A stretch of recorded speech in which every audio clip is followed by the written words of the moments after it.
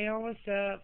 I've been feeling like major shit here lately and feeling really alone, but life goes on, you know what I'm saying? And, and uh, I don't have internet connection right now, so I can't get on the net. But hey, you know, nothing I can do. I uh, hope you all having a great winter and have a good day. Peace.